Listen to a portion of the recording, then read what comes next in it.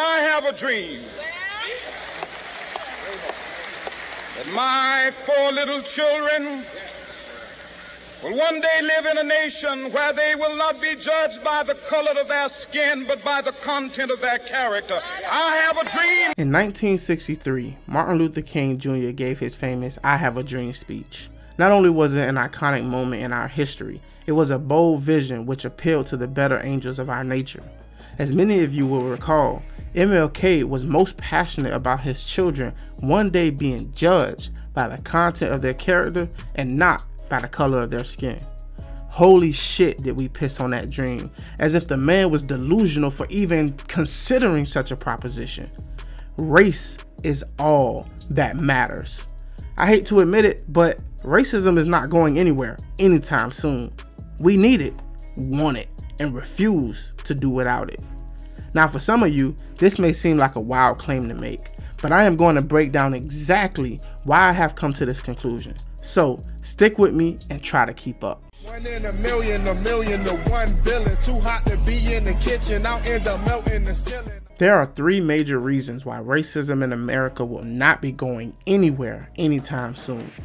One must only take a few moments on social media to get a dose of American racism in all of its glory.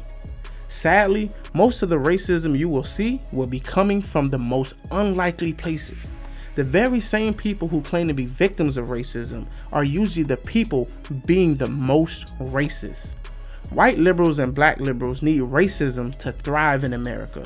At the very least, they need the perception of racism to be forever present in order for them to fight the good fight.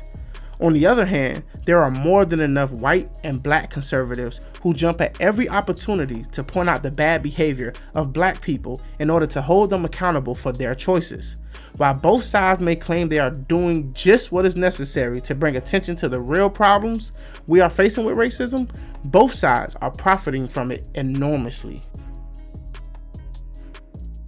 So, let's break down one of the first reasons we find ourselves in this situation. Racism is a great excuse. Since I was a kid, there have been countless teachers, doctors, lawyers, judges, and community leaders reminding me of the injustices of slavery and racism. They made sure to remind me that the mean, mad white man was out there lurking in the shadows, waiting to keep me down. The only problem with their warning was the fact that I couldn't see it. Most of my childhood was played with gang violence, drug use, criminal activity, and gambling. Every single person who I saw destroying my community was someone who had my skin color. Now, here is where the academic comes in.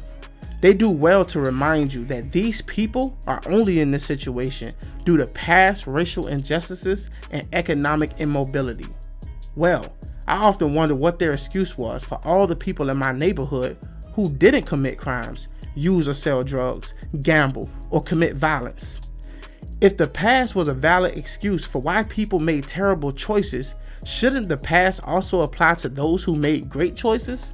If they all shared a common history, what are the factors that determine the different outcomes? One might be tempted to think that these people have not done enough thinking as they would like you to believe. For example, we have known for some time now that having a father in the home drastically increases your chances of future success like graduating high school, going to college, and not going to jail. Things as simple as reading to your child can have a major impact on their development. Meanwhile, single motherhood rates have risen constantly in the past decades.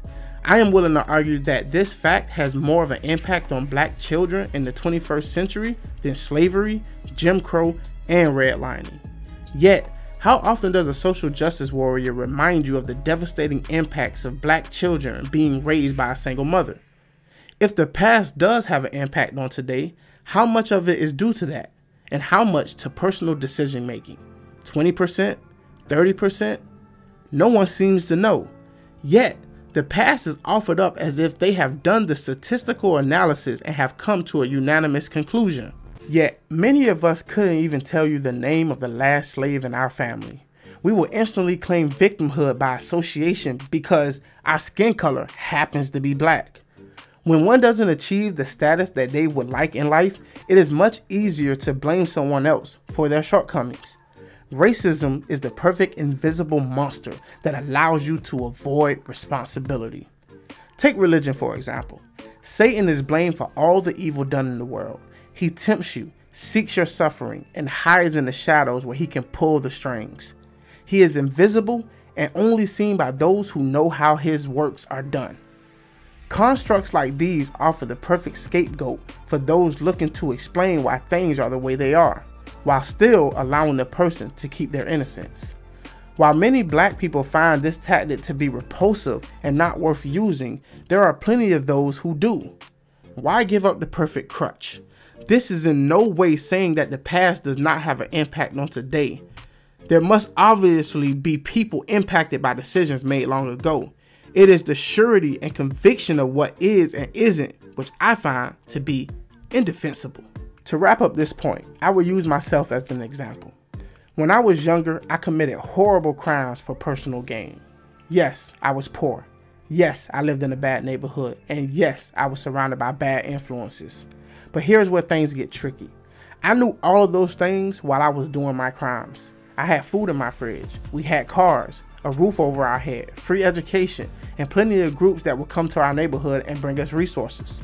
I was smart enough to know that I didn't have to do those things. But I enjoyed the competition, the danger, and the status game. I went out of my way to do those things because I wanted to be a gangster. I had a father and mother who had warned me of the consequences, showed me other ways of living and what was possible. I would only have to do the right thing. I don't know how many of my ancestors were slaves or slave owners. I don't know if any of them were rich or white. What I do know is that I chose to be a bad person. I don't use my personal story as an example to be applied across the board, but how many kids out there are participating in criminal activity who know better and choose to do otherwise? How many of them are being rounded up in the statistics and labeled victims of oppression? Where are the study groups that go out and find out the motivations and individual circumstances that have nothing to do with poverty or the history of racism? What incentive would one have to even be honest about it? Given the option, wouldn't you prefer people saw you as a victim instead of someone who chose to be a criminal? There must truly be cases like this all throughout America, yet we will never be able to account for them. Still, society will ask that we pretend as if this is just not possible. So, yes, racism is a great excuse, one that will never voluntarily be given up unless we find incentives for people to do so. The second reason is that racism is power. Think about all of the civil rights groups, thought leaders, law firms, and individuals who get paid to tell Americans about their racism. The money keeps pouring in, and it really just keeps pouring in. There is no limit to the amount of people who will use racism as a way to gain influence and achieve prestige. How many books have been written on the subject? How many people have built their careers fighting it and claiming to be champions of the oppressed? What about those who get paid to tell you that racism is not a problem and that black people just need to do better. These are the same people who have teams of others scouring the internet to find black people behaving in horrible ways. They have entire videos dedicated to telling white people they are not the problem. I am not saying that any side is right or wrong at times, only that racism can be very profitable for those fighting it and for those claiming it is not a problem. Take your elite liberals like Ta-Nehisi Coates, Cornel West, and Al Sharpton.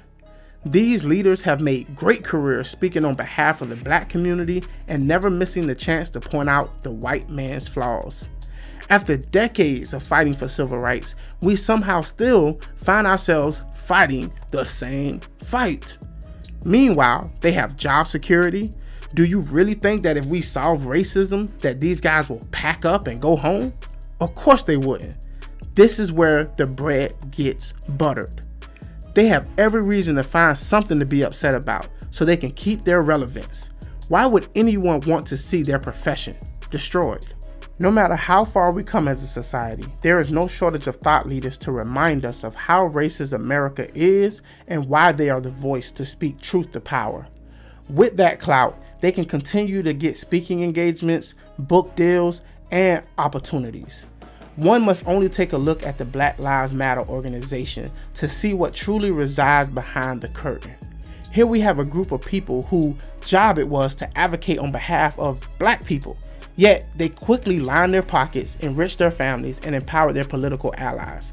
Fast forward, the black community is in the same position as it was before the organization was formed. I should point out that the black community is not a community which exists in the first place. Black people make up various cultures, ideas, needs, and wants. A black man living in New York has different concerns, ideologies, and experiences than a black man living in Georgia. One can live in the same city and still be vastly different from another black person who lives a few minutes away. Still, we must pretend as if all of these people are one and the same and require black leaders to speak on their behalf. Then we have the black conservatives like Larry Elder, Candace Owens, and Thomas Sowell. Now, I must admit of being a fan of Thomas Sowell and his work, but I have to be objective in my analysis. These black people have benefited from racism as well. As a content creator, I have a small glimpse of the temptation to make content about black people and racism in America. Hence, we find ourselves with this video. It is just something amazing to see black people who have decided to go against the mainstream narrative and fight back. Not only is it profitable, but it also comes with its own incentives like fame, book deals, and influence. The job of these black conservatives is to show white people that we are not all the same and that racism is not the problem, while also appealing to those black people who find themselves outside of the liberal bubble. In order for this to work, they must point out all the issues within the black community and highlight why they are the problem, not white people or racism. This can be a very consoling thing to white people to find themselves being accused of having white privilege and benefactors of race. It also appeals to racists who need validation that black people are the problem. Now, it is true that some of these conservatives and liberals are well intentioned. After all, someone has to wrestle with race in America. But we must not pretend that they are not highly motivated by the rewards of taking such a path. I fear that many of them know the damage that could come to their personal brand if we were to ever find a solution to racism. If that is the case, we must challenge their motivations. I myself wrestle with the desire to help our country without causing further harm by trying to do so. If we are supposed to be thriving towards a racial free society, does it really help that we have so many leaders whose sole job it is to focus more on race? We find ourselves in a stalemate of ideas. If one side is to give up the battle, they must be sure that the other side will as well. They feed off of each other. While we are divided on the issue, dollars continue to pour in and they continue to feed the beast. This is why I believe America needs racism. If it were to go away, so many people will be out of a job and the power they once had will be diminished. The third and final reason that racism is not going anywhere is simple. Americans are more divided than ever.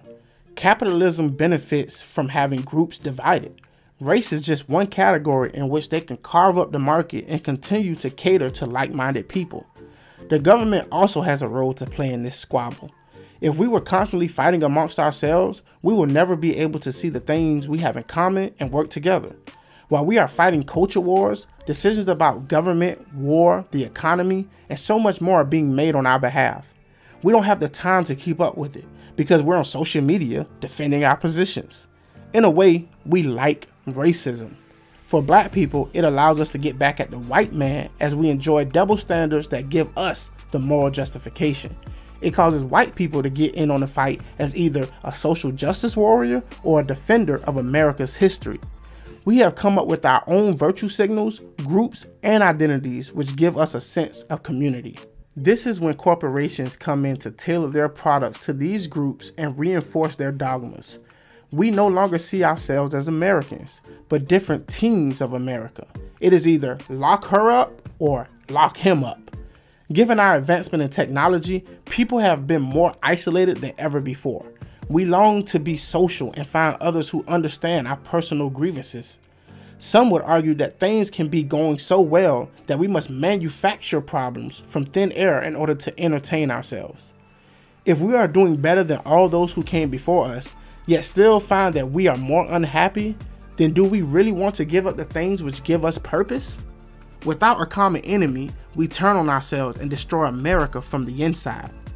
Racism is just a low hanging fruit which we can all grab onto and use as a political football. It took me a while to decide if I would make this video, as with many things, it is controversial, complicated, and dangerous. It would take countless videos to cover this subject in its entirety, while still knowing it would not sit well with many viewers. Still, it needed to be said. I have hope that we will someday find a way out of this racism dilemma. I have met too many good people from all walks of life who have been afraid to weigh in, but we are the majority. I encourage you to do your part by staying informed, aware of the tactics, and outspoken when you see something wrong. Thank you so much for watching this video, especially if you made it to the end. Be sure to subscribe and smash that like button. It lets me know that you enjoy these videos and that they're worth making. Be sure to leave your feedback in the comment section. That way, I know you're not a racist. Till next time, Javi Lobby, peace and glory. Be peaceful and be great. This is a certified hood classic.